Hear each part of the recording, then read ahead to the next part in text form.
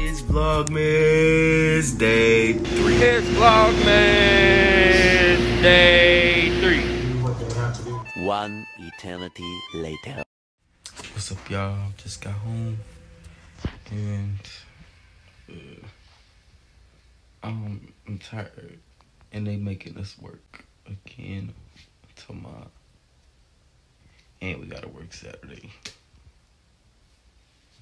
This food.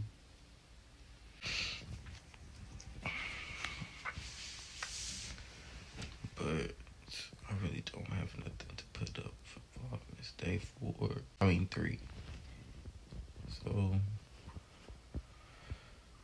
y'all just gonna have to wait for Vlogmas Day 4.